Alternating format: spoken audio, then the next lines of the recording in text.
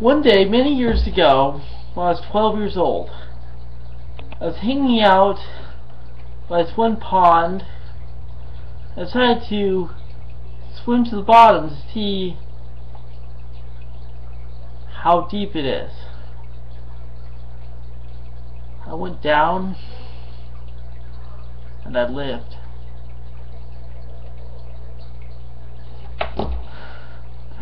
I don't remember how I lived. I went down and I lived.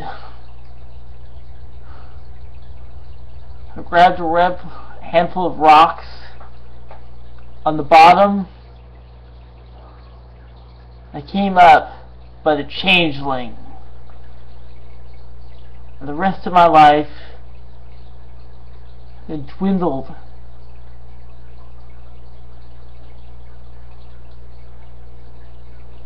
in illness. I went down, but I lived. Down, and I lived. I went down, and I lived.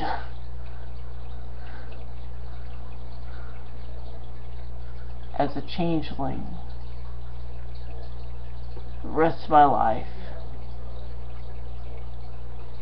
Mere changeling. I changed that day. I went down and I lived. That day, my mind went kablooey and I lived. Years later, I'm alive. I live again.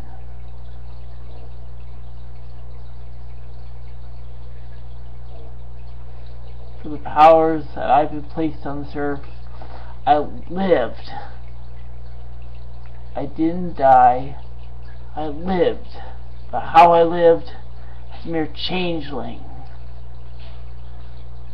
I went down and I lived. That's disturbing, isn't it?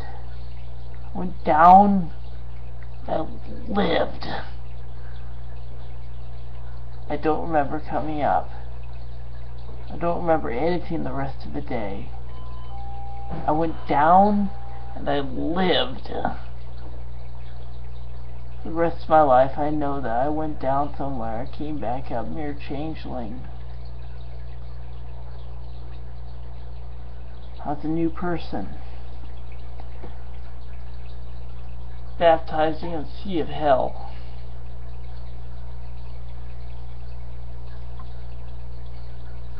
A new me came up.